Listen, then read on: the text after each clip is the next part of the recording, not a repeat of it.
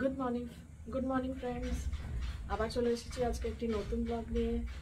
Welcome to my channel in a new blog তো আজকে আমি সকালে একটু তাড়াতাড়ি শুরু করে দিয়েছি রান্নাবান্না। তো দেখো এগেন স্যুপ করছি।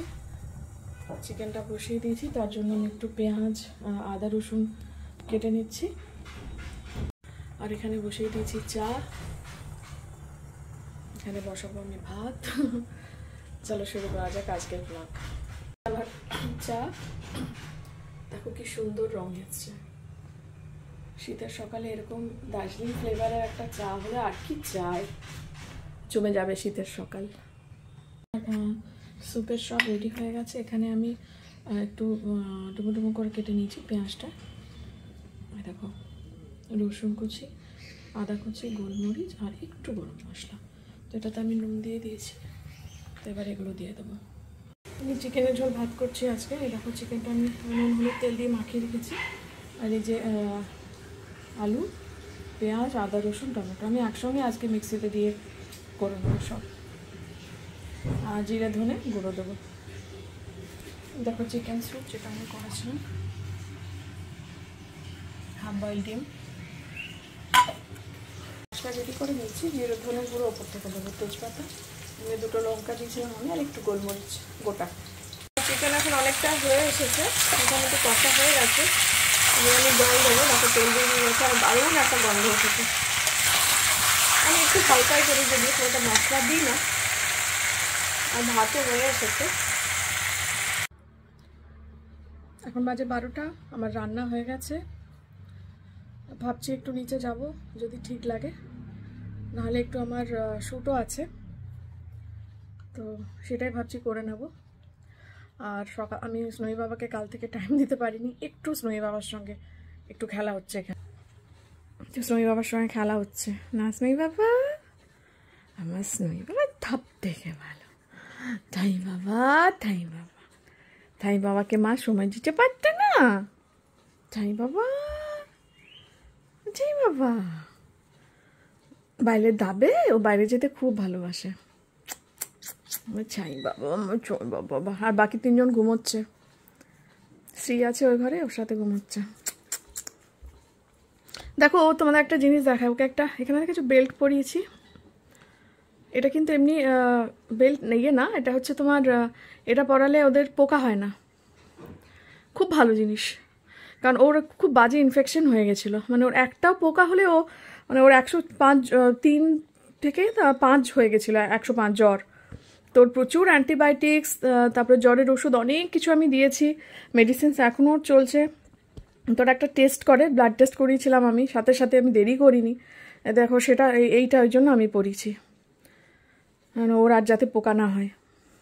এবং ওর একটাও লোম ছিল না, সব লোম উঠে গেছিল। এখন অনেকটা ঠিক আছে। ভালো আছে। দেখো আমার চিকেনের ঝোল হয়ে এসছে- কি সুন্দর একটা কালার এসছে।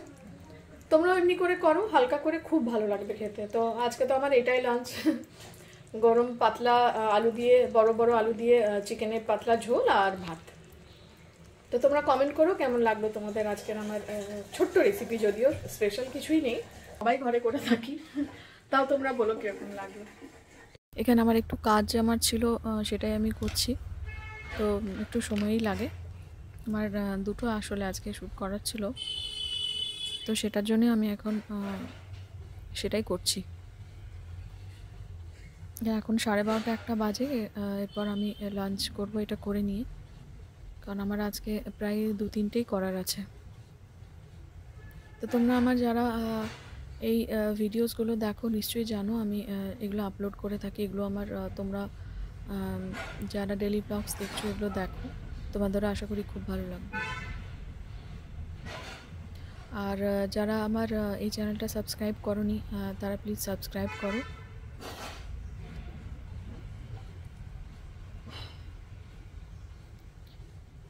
নিজের উপর করতে আসলে একটু অসুবিধা হয়। কিন্তু আমাদের কাজ করে যা হয়, অভ্যেস হয়ে গেছে। তো সেভাবেই করছি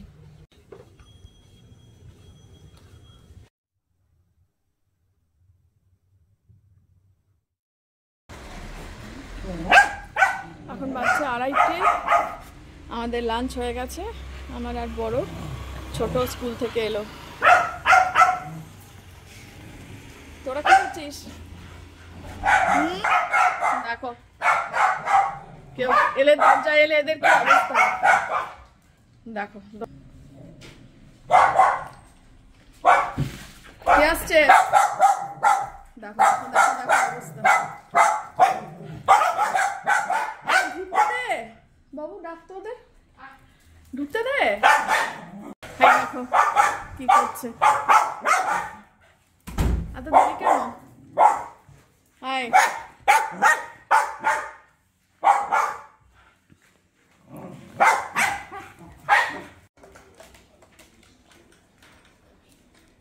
নাও। নাও বাবু। ওকে অনেকক্ষণ কিছু দেওয়া হয়নি খেতে। খাও। দেখো হাতে ধরে কি সুন্দর খাবে। ভয় পাচ্ছে আলোতে।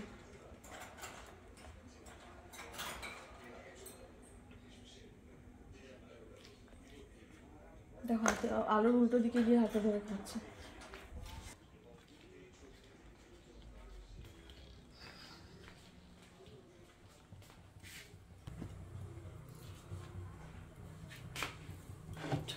একটু চা করা যাক।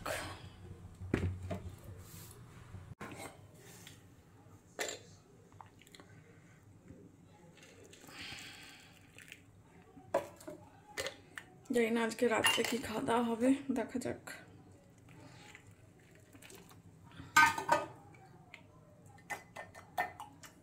চলো, আমাদের স্পেশালটি রেডি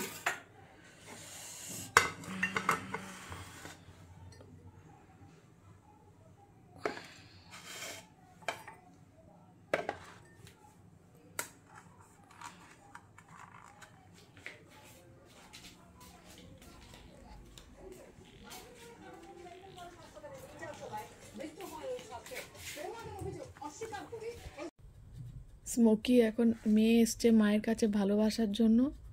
কিন্তু মা এখন ভালোবাসতে পারছে না, মা এখন রেগে আছে। অত মুকি মা এখন রেগে আছে। মা এখন ভালোবাসার মুড নেই।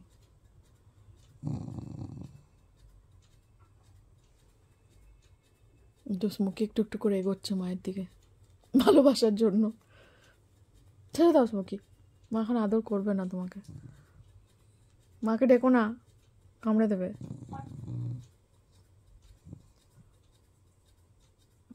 স্মোকি খুব আশা করে মায়ের কাছে এসেছিল।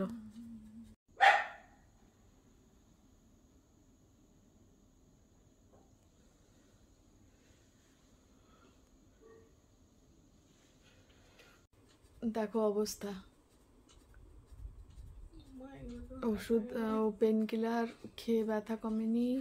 ইঞ্জেকশন নিয়েছি, আমি জানি না অ্যাডমিট করতে হবে কিনা, কালকে ওর পরীক্ষাও দেওয়া হবে না।